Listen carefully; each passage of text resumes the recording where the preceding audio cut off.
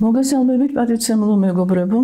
დღეს ჩვენ ვისაუბრებთ დღეისათვის ყველაზე აქტუალურ თემაზე, ხველაზე და კერძოდ კრუპზე, ანუ ცრუ კრუპზე. რა არის ხველა პირველ რიგში გავერკვეთ ამაში.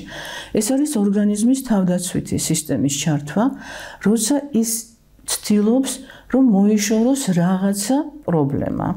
ეს როგორ წესი არის ხოლმე? ან რაღაც გამაღიზიანებელი, ალერგიული ხველის შემთხვევაში, ან რაღაცა ვირუსი ან ბაქტერია, რომელიც რომლის წყალობითაც წარმოიშვება ლორწო, როგორც წესი და არის ანთებითი პროცესი. როდესაც ჩვენ ხველის დამთრგუნავ წამლებს ვიღებთ, ჩვენ ორგანიზმის ხელს უშლით აი ამ გაწმენდითი პროცესის რეალიზებაში და უარესი ჩაგროვება ხდება, ჩაბუდება ხდება აი ამ ლორწოსი თუ რაღაც გამონადენის თუ ბაქტერიებისა და ვირუსების და ღებულობთ უკო რეაქციას. ამიტომ ამ შემთხვევაში ჩვენ დათრგუნვა ხველის არ უნდა ვცადოთ. სხვა სიტუაცია არის ალერგიული ხველის შემთხვევაში ან ქრონიკული ხველის შემთხვევაში, რომელიც არის გამოწვეული სხვადასხვა ქიმიური წამლების მიღებით. აი მაგალითად კონკრეტულად არის რამდენიმე წამალი, წნევის რეგულატორი, არის რამდენიმე კარდიოლოგიური წამალი, რომლებიც თავისთავად როგორც გვერდით მოვლენას იწყებენ ყველას. ეს სხვა შემთხვევებია, ამაზე ჩვენ დღეს არ ვსაუბრობთ. ჩვენ ვსაუბრობთ იმ ყველაზე, რომელიც გვაწუხებს, რომელიც არის დაკავშირებული ვირუსებთან და მიკრობებთან ზირითადად და ვისაუბრებთ კრუპოზულ ყველაზე. ეხლა კრუპოზული ყველა ეს არის ყველა, როცა შეიძლება განვითარდეს ეგრეთ წოდებული ცრუ კრუპი. თვითონ ნამდვილი კრუპი არის მხოლოდ და მხოლოდ დიფტერიის დამახასიათებელი და ჯვარი გწერია რომ ეს იყოს, მაგრამ დღესდღეობით დიფტერია არ არის საქართველოსში ყოველ შემთხვევაში და არც სხვა სხვა ქვეყნებში ფიქსირდება მაინდა მაინც. და ის რაც დღეს სახეზე გვაქვს, ანუ ვირუსული წარმოშობის კრუპოზული ხველა, რასაც ეძახიან, ეს არ არის კრუპი, ეს არის ცრუ კრუპი ეგრეთ წოდებული, ანუ კრუპის მაგვარი. როგორც წესი, ის ლიდეტალობით არ თავდება, მაგრამ ძალიან ძიმე შესახედია. ეს ვითარდება ხოლმე ჩვილ ბავშვებ, ჩვილობიდან დაწყებული 6-7 წლამდე ბავშვებში. განსაკუთრებით მიდრეკილები არიან თეთრი და პიტკინა, ისეთი უფრო წყნარი მშვიდი ბავშვები. ღია ფერის ბავშვები, ვიდრე ესეთი გამختარი და შავრემანები. თუმცა ამათაც ემართებათ რა თქმა უნდა. როგორც მოგახსენე დედისთვის საკმაოდ რთული შესახედია, არის ისეთი შეგრძნება, რომ ბავშვი იხრჩობა, მას უჭირს ჩასუნთქვა, ჟანგბადი არ მიეწოდება ფილტვებს და ბავშვი ვარდება თვითონ პანიკაში.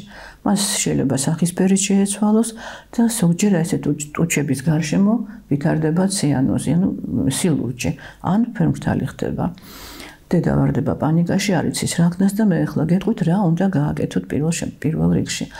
Ну უმრავლესობა ექიმებისა, რასაც მე უყურებ რჩევებს ინტერნეტში და ისედაც გაიდლაინებში ურჩევს რომ გამოაღონ ფანჯარა, მიიყვანონ ბავშვი ფანჯარასთან ეს ერთი და მეორე განსაკუთრებით უცხოეთში ურჩევენ რომ სააბაზანო ოთახში მოუშვან ცხელი წყალი და აი ეს ორთხლიან გარემოში შეიყვანონ. ორივე რჩევა სწორია, მაგრამ ნახეთ რა ხდება, ბავშვს ამ დროს ჭირდება ჟანგბადი. როცა ჩვენ შეგვყავს სააბაზანოში კი მას მოუხდება ის რომ არის ნესტიანი თვითონ ნოტიო ჰაერი და ამით შემსუბუქდება, მაგრამ ჟანგბადი იქ არის ნაკლები. ასე რომ შემსუბუქება დიდად არ დადგება. როდესაც ვამბობთ იმას, რომ მიიყვანო ღია ფანჯერასთან, აი აქ არის საჭირო სიფრთხილე. პერმა ისე გაიგო, რომ პირდაპირ უნდა გამოაღო ფანჯარა და ბავშვი მიიყვანო უშუალოდ ფანჯარასთან. ეს არაფრით არ შეიძლება ორი მიზეზის გამო. პირველი ის, რომ ბავშვი ამ დროს არის შემცირნებული, ან არის ოფლიანი, ისედაც ავადარი და აი ცივჰაერი, ცივი ჰაერის მოხვედრა და უშუალოდ მასთან კონტაქტი არ არის სასურველი. მეორე რაც შეიძლება მოხდეს და ყოფილა ესეთი შემთხვევები, მართალია ძალიან იშვიათად, მაგრამ ამის ალბათობა არსებობს და მე მინდა რომ გაგაფრთხილოთ. როცა ფანჯარასთან მიყავთ ბავშვს, ბავშვი ბავშვი არის პანიკაში. და როცა ის ჟანგბადს იგრძნობს, ჰაერს იგრძნობს, ის თუ ხვანცალა ბავშვია, მით უმეტეს და აქტიური, რათა თუ ესეთი ძლიერი თუა, ის შეიძლება გადაგიხდეთ უბრალოდ ავტომატურად და დედამ ვერც მოასწროს ამ ბებიამ ვისაც უჭირავს მისი გაჩერება და ის შეიძლება ფანჯრიდან გადაგივარდეთ. აი ამის გარო თავი დავისხოთ, ამიტომ რა უნდა გავაკეთოთ?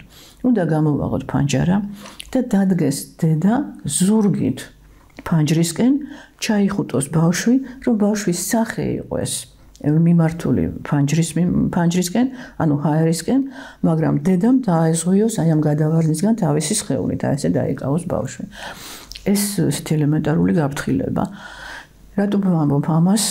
შეიძლება ხა გაგეცინოთ, მაგრამ ღმერთმა არქნას და არ შეესწროთ აი ესეთ სიტუაციას, მიხვდებით რომ ძალიან იბნევა მშობელი ამ შემთხვევაში, განსაკუთრებით ახალგაზრდა გამოუცდელი დედები. და კიდევ ერთი რჩევა, რომელიც არსად არ გაჟღერებულა, არ ვიცი, არიციან ამის შესახებ, არ ვიცი, შეგნებულად არ ამბობენ. პირველი დახმარება, გეუბნებიან, რომ დარეკეს ასტრაფოში და ის გაუწევს არაბატონებო. სანამ ის მოვა, თქვენ თქვენი დაგემართებათ.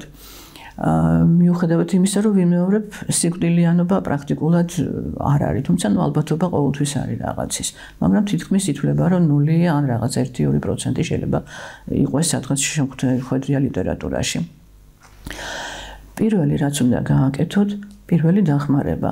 ეს არის უნდა თქვენი თითი აა უნდა შეუჩაუყოთ ბავშვს პირში და დააჭიროთ და ენის ძირზე. აი ესეთი მოძრაობებით. ესე იგი არა ისე რომ აი დააჭირეთ და აღარ გავუშვით არა. აი ესეთი მოძრაობები სანამ არ გამოიწევთ ღებინების რეფლექს. ამ დროს ბავშვმა შეიძლება აღებინოს კიდევაც და ამოვა ლორწო რომელიც არის დაგროვილი. თუ არა და უბრალოდ რეფლექსიც კი თვითონ ეწამოღებინების რეფლექსი, მოძრაობა ღებინების არის სრულიად საკმარისი და შეწყვიტეთ. ეს არის უებარი გამოცდილი ხალხური მეთოდი.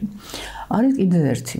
უნდა აიღოთ რაიმე წვეტიანი, ну, არანემსი, არამედ აი საწერი პასტა მაგალითად ჩვეულებრივი, ან ფანქარი, კარგად წათლილი და აი ამ წერტილებში, აი აქ სადაც არის ჩაღრმავება და აი აქ, აი ამ ადგილას ჩაღრმავება იპოვოთ და აი აქ დააჭიროთ ეს ისე ესეთი ფსუბუქი გამოღიზიანებელი მოძრაობებით. ეს არის აკუპუნქტურის ერთ-ერთი, ანუ ჩინური მედიცინის ერთ-ერთი ესეთი დამხმარე საშუალება. ვიმეორებ, ესე იგი, ერთი აი ეს აი აქ ჩაღრმავებას იპოვით და მეორე აი აქ ნიკაპზე არსებულ ჩაღრმავებას. ნუ შეიძლება გამოიყენოთ კიდე აი ეს წერტილი აი აქაც შუაში. არის ესეთი ჩინური წერტილი, ამას ქვია რეანიმაციის ერთ-ერთი წერტილი. იმედია რომ არაფერი მოუვა თქვენ შულს, მაგრამ მაინც იყავით ამ ცოდნის შეიარაღებული. ეხლა რაც შეეხება იმას, რა წამლები უნდა გქონდეთ სახში აი ამ სიტუაციაში, რას გირჩევთ? მიუხედავად იმისა, რომ თქვენ იცით რომ მე არ მიყვარს წამლები. ეს არის დექსამეტაზონი. როგორც ამპულა, ისევე ტაბლეტი. და ну რა თქმა უნდა უნდა ქონდეს სპეციალური შპრიცი ამისათვის ეს ყველა პატარა ბავშვის პატრონს უნდა ქონდეს და მე თუ მკითხავთ ყველა ადამიანს უნდა ქონდეს იმიტომ რომ დღეს ძალიან მომატებული არის ალერგიული ფონი და შეიძლება ნებისმიერ მომენტში ნებისმიერ ადამიანს ნებისმიერ ასახში განუვითარდეს რაღაც მწვავე ალერგიული რეაქცია ამ შემთხვევაში პირველი დახმარება ეს არის დექსამეტაზონი. ნუ სასურველია რომ გაკეთდეს ნემსი, მაგრამ ბავშვების შემთხვევაში ძალიან ხშირად კიდევ უფრო მეტად ისტრესებიან ბავშვები ნემსი და ამის საშუალებას არ ეძლევიან. ამიტომ ან მიეცით აბი, ან უბრალოდ გატეხეთ ამპულა და მიეცით აი ეს დასალევად. ნუ თუ პატარა ბავშვი არის, ნახევარი ამპულაც ყოფნით მათ როგორც წესი, ჩვილებს კიდევ უფრო ნაკლები შეიძლება 1/13 რომ მივცეთ. ეს არის ის, რაც უნდა გქონდეთ სუსახში. ასევე უნდა გქონდეთ ყოველთვის ნოშპა, იგივე ამპულაში, რომელიც გაუკეთდება თუ დასალევად მიეცემა, იმიტომ ეს არის ყველაზე კარგი ცნობილი და მიღებული პაზმოლიტიკი, რომელსაც პრაქტიკულად არ აქვს გართულებები. აი ეს ორი ისეთი რჩევა, ხო და კიდევ რა, როცა მეკითხარით პირდაპირ ფანჯარასთან, ნუ მიიყვან და პირდაპირ ნუ შეიყვან თაბაზანაში, ყველაზე კარგი არის რა კარტოფილი, ჩვეულებრივი კარტოფილი, უცებ ჩაყარეთ, მასში ჩადევით ერთი ან ორი ცალი კარტოფილი ქვაბში და ადუღეთ. აი იმის ორთხლი დადგეს მთელ სამზარეულოში და იქ მიიყვანეთ ბავშვი, ესე იგი ცნობილია, რომ კარტოფილის ნაფცხვენებს სპეციალურად ადრე ინახავდნენ, მაშინ ცისკელკანიანი კარტოფილიც იყო ხოლმე, ეხლა აღარ შემხვედრია ეგეთი, მინდა გითხრათ. რაც ფროსკელკანიანი იქნება, უკეთესია, არ გაფსხნათ, ამიტომ ანუ კანებია იქ ფასეული და შეგიძლიათ აი ეს ჩაყაროთ ფლიანად, ეს ჩადოთ ორი კარტოფილი, ადუღოთ ისე რომ მაღალ ცეცხლზე რომ ისე რომ ორთქლი დადგეს ყველგან. ასევე ძალიან კარგი არის ევკალიპტი, მაგრამ ამის დრო როგორ წესი არ არის ხოლმე. და ნუ ევკალიპტზე შეიძლება ვიღაცა საათში ერთ კონდეს რაღაც უფრო ალერგიული რეაქცია და თუ ბავშვი ალერგიულია შეიძლება იმდენად არ მოუხდეს. კარტოფილი კიდე აბსოლუტურად ნეიტრალური და უნებელია. როდესაც ერთად ბავშვი ავადობს და მით უმეტეს ხველება აქვს, აი მაშინ აი ეს კარტოფილის ნაფსქვენების ნახარში ორთქლი უნდა მოატაროთ, ეს არ არის კლუბზე უკვე ლაპარაკი ზოგადად ხველებაზეა. მოატაროთ იმ ოთახში, სადაც ბავშვი ძინავს, ან სადაც ის თამაშობს, ისევე როგორც ევკალიპტის ასეთი ნაყენი, ასევე შეგიძლიათ გამოიყენოთ დაფნა ამისათვის.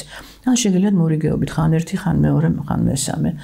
გარდა ამისა, მინდა გითხრათ, რომ სივრცეში, რომელშიც ბავშვი ტრიალებს, თვითებიც რა თქმა უნდა, მაგრამ ბავშვებში უფრო კარგად მუშაობს ეს ძალიან კარგია თუ კი სადღაც კუთხეებში სადაც არის საშუალება თუ არა კალჩინაური ცხოველები ელოგინის ქვეშ და ქვემოთ სადღაც დააწყოთ ან იმაზე კარადების თავზე შეგიძლიათ შემოაწყოთ ან თუ თაროები გაქვთ ლიმონის, გრეიპფრუტის, ფორთოხლის კანები ასევე დაჭრილი წვრილა, დაჭრილი ნიორი და დაჭრილი ხახვი.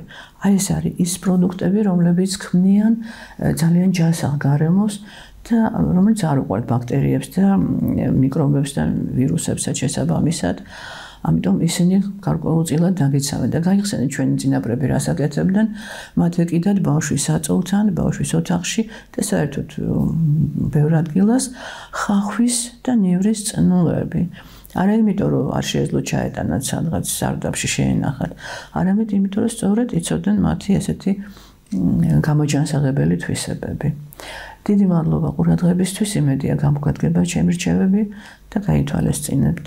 შემდეგ შეხვედრამდე და შემდეგ შეხვედრაზე მე თქვენ გესაუბრებით იმ წამლებზე, შინაურ წამლებზე, რომლებითაც შეიძლება ხველის მკურნალობა. ანუ ხველების თემა აქტუალური იქნება მთელი ზამთარი და მე გავაგრძელებ ამ თემაზე საუბარს. იქნება როგორც შინაურ ხალხურ მედიცინაზე ლაპარაკი, ასევე ფიტოთერაპიაზეც. დიდი მადლობა ყურადღებისათვის.